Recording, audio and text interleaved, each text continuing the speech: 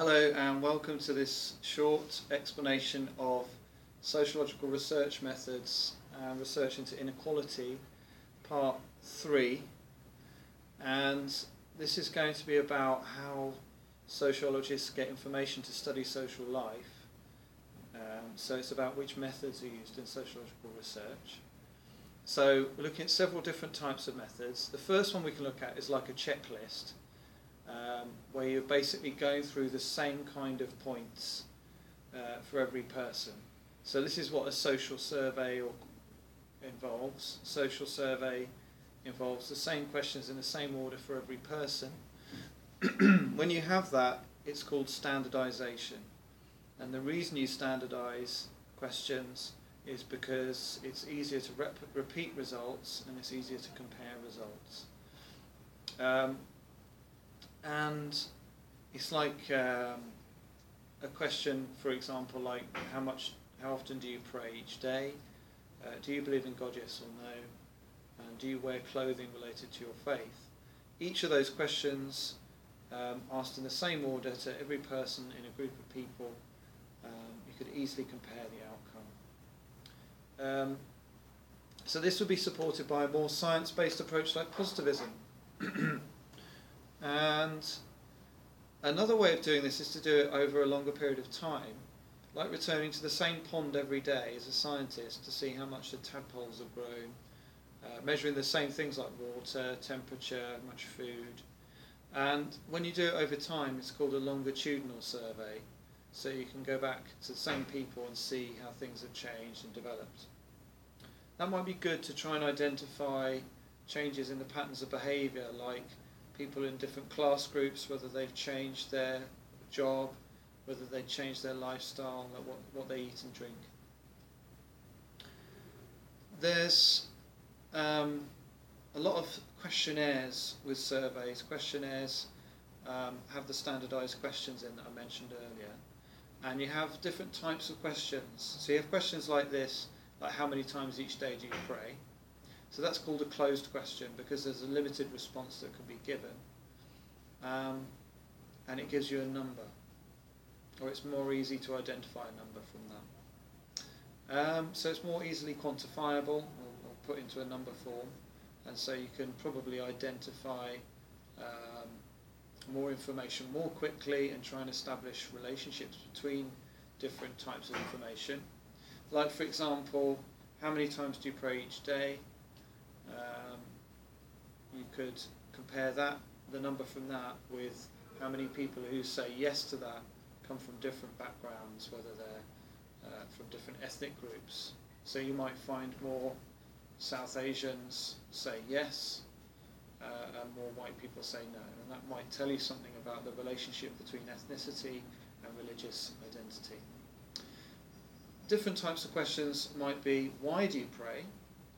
Um, can you describe the experience of prayer? What does it feel like to pray? And those are open questions, and open questions might be used to get more information about thoughts, feelings, and attitudes, the beliefs behind behaviour. But they're less likely to be used in questionnaires uh, because they're more time consuming.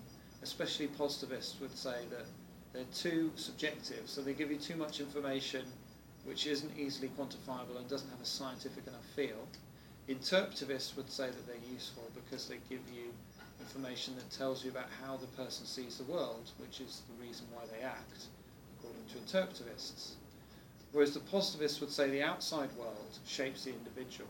So if you find out things like what ethnicity you come from, that tells you enough information to then explain why it might influence your religious identity and so on. The that's because the positivists think the forces are outside in the world, like social integration is a force.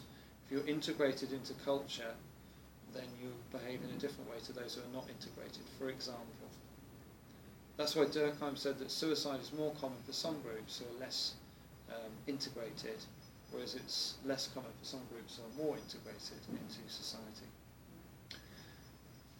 Okay, so you've got more. You've got interviews. Interviews is a different type of method and they can be used by this kind of science-based approach, especially um, in a structured interview, which is like being asked questions by a computer or online, because the interviewer just asks questions. They don't really ask more questions. They just ask the questions on a sheet, and that's probably using a questionnaire. Unstructured interviews are something different, which we'll look at later with interpretivism. So the positivists would advocate structured interviews. Secondary data is information already collected, so crime statistics.